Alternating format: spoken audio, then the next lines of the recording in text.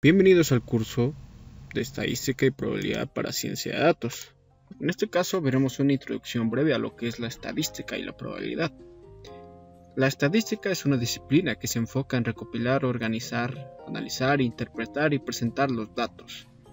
El objetivo de la estadística es obtener información significativa a partir de conjuntos de datos, lo que es identificar patrones, tendencias y relaciones.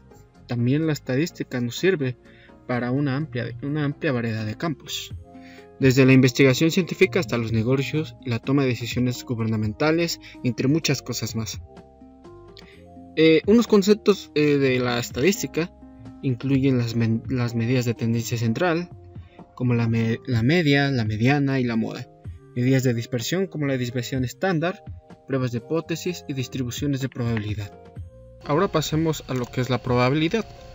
La probabilidad es una rama de las matemáticas que entre muchas otras ramas hay, y esta se centra en el estudio de la incertidumbre y la aleatoriedad. Se utiliza para cuantificar y predecir la probabilidad de que ocurra un evento en función de la información disponible. En la teoría de la probabilidad, los eventos se describen mediante modelos probabilísticos y se asignan probabilidades a esos eventos. Entonces, tenemos que las probabilidades oscilan entre 0 y 1, o sea, puede ser 0.1, 10. ¿No? Por así decirse. O puede ser 0.2, que significa 0.20. Y así con otros muchos, este, muchos porcentajes de probabilidad. Entonces, tenemos que la probabilidad se utiliza mucho en, el contexto, como los juegos de azar, los pronósticos meteorológicos, toma de decisiones en situaciones inciertas y análisis de riesgos, así como en modelos de Machine Learning, análisis de datos, clustering, data pipelines, entre muchas cosas se utiliza en la estadística. Entonces, tenemos que la estadística y la probabilidad son fundamentales en la ciencia de datos, ya que se utilizan para analizar datos, extraer conclusiones y tomar decisiones informadas. Entonces, aquí mostraré unos ejemplos, o bueno, describiré lo que son unos ejemplos de cómo se utiliza la estadística y la probabilidad en la ciencia de datos.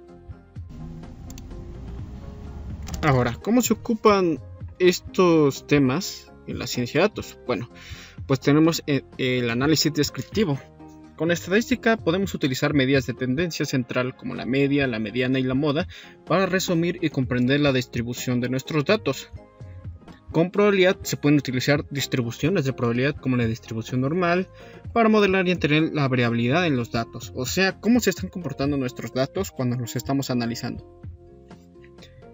Después tenemos la inferencia estadística, con la estadística podemos realizar pruebas de hipótesis para determinar si las diferencias observadas entre, entre dos grupos de datos son estadísticamente significativos. Un ejemplo puede ser realizar una prueba T para comparar el rendimiento de dos grupos de estudiantes. Entonces, con eso estamos utilizando la prueba de hipótesis. Con probabilidad podemos emplear lo que son las distribuciones de probabilidad, conceptos como el valor P, para cuantificar la incertidumbre en las conclusiones estadísticas. Después, con estadística en la ciencia de datos, podemos, manejar lo que es un tema de regresión. Eh, utilizamos lo que son modelos de regresión para analizar la relación entre variables. Por ejemplo, se puede utilizar para una regresión lineal, con lo que podemos predecir costos de viviendas o costos de automóviles o costos de cualquier cosa. Por lo general, una regresión lineal nos ayuda siempre con los costos, los precios de un objeto o un producto con lo que estemos trabajando.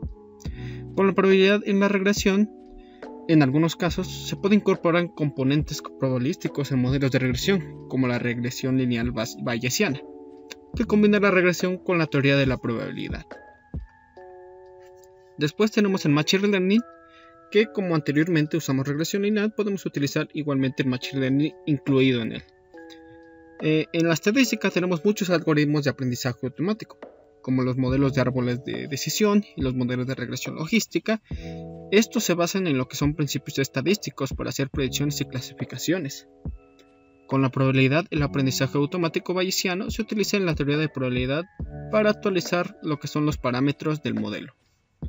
Y así para que cuando nosotros introdujamos nuevos datos a nuestro modelo, esto los prediga con exactitud o bueno, con una precisión casi casi del 100% o del 90%. Después tenemos lo que son análisis de series temporales. Con la estadística se utilizan técnicas estadísticas para modelar y predecir datos secuenciales a lo largo del tiempo como la predicción de ventas futuras en función de datos históricos. Con la probabilidad en análisis de series temporales, se pueden utilizar modelos de series temporales basados en procesos estocásticos con modelo ARIN. En este curso no veremos los procesos estocásticos ya que es un curso o bueno un tema muy grande. Esto llevaría a otro curso. Pero un modelo estocástico es básicamente mm, un modelo probabilístico en el cual nos basamos en el, en el evento que ocurrió anteriormente.